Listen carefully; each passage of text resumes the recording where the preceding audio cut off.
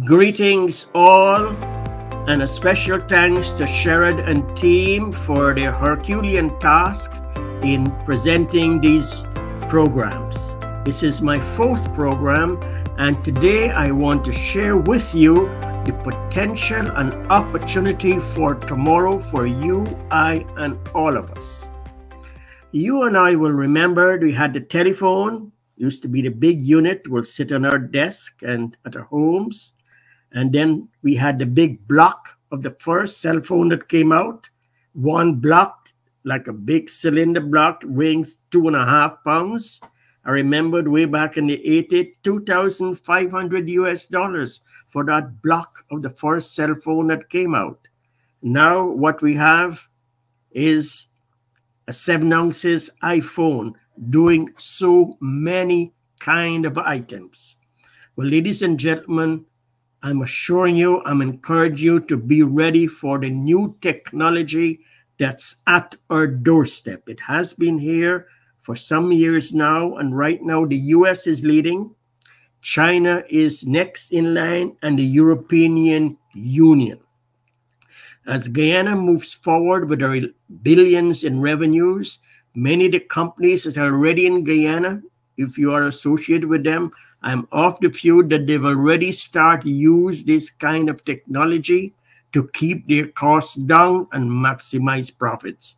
Because you know that's business main goal they have shareholders is to make money. But it's the government task to make sure they do it and with respect to the labor. In Guyana, some say 50%, some say 60% are women and youths. So it's very important that you and I use every opportunity when the government program, the goal program, to take it. If it's no charge and little charge, at all levels, take it, use it, be equipped. All, all revenues will be there, and hopefully, the government will use more technology. Recently, you heard in the news that $34 million are going to be spent for a digital card. Well, I can argue, and I will write about that next week. It should be a different price, but the technology, the message was there for technology.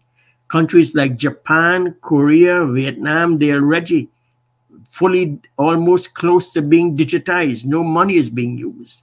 This is the world. Well, the program I'm talking about is Chat C H A T G P T. Repeat chat C-H-A-T GPT. And after I'm finished, you can do a Google search and it will give you a lot of information. We all are familiar with Google search. You know, you know Google, and they will come up with different answers and writings and everything. This is based on what is being daily put over the years in the system. So when you ask Google for something, it comes up with a long list as much as you want. Fine.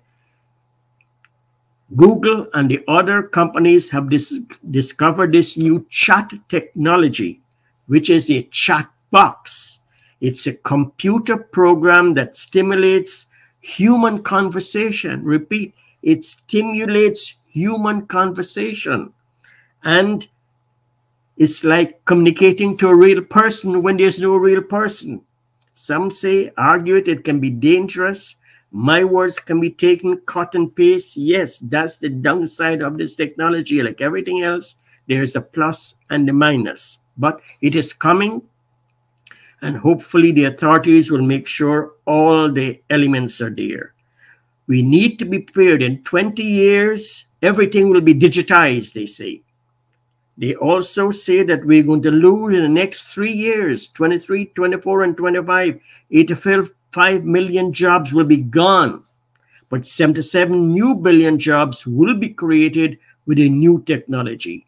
The jobs that are likely to go, and is already going now, is customer service executives, customer service persons, bookkeepers, accountants, receptionists, proofreaders in newspapers, manufacturing, light manufacturing work, the retail services, the courier services. Some are delivering robots. One supermarket in New York automating 10 robotic automatic cash out. That means they wouldn't need 30 cashiers, just one or two supervisors. For the young students, I encourage you to get your bachelor's degree in engineering, computer science, algebra, anything in the science at all levels. Equip yourselves with the training and the discipline. the skills that are needed will be anything to do with the computers at all levels, at all levels.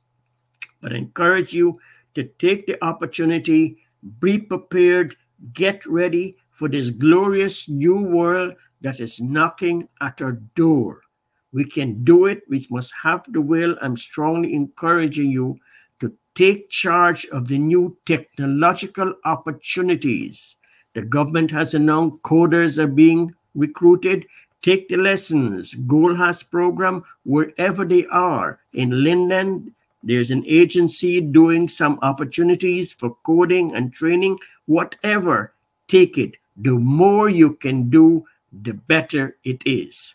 Onward and upward to a better tomorrow for you, your family, the nation, and globally. The ball is in our court. Onward and upward. Good night.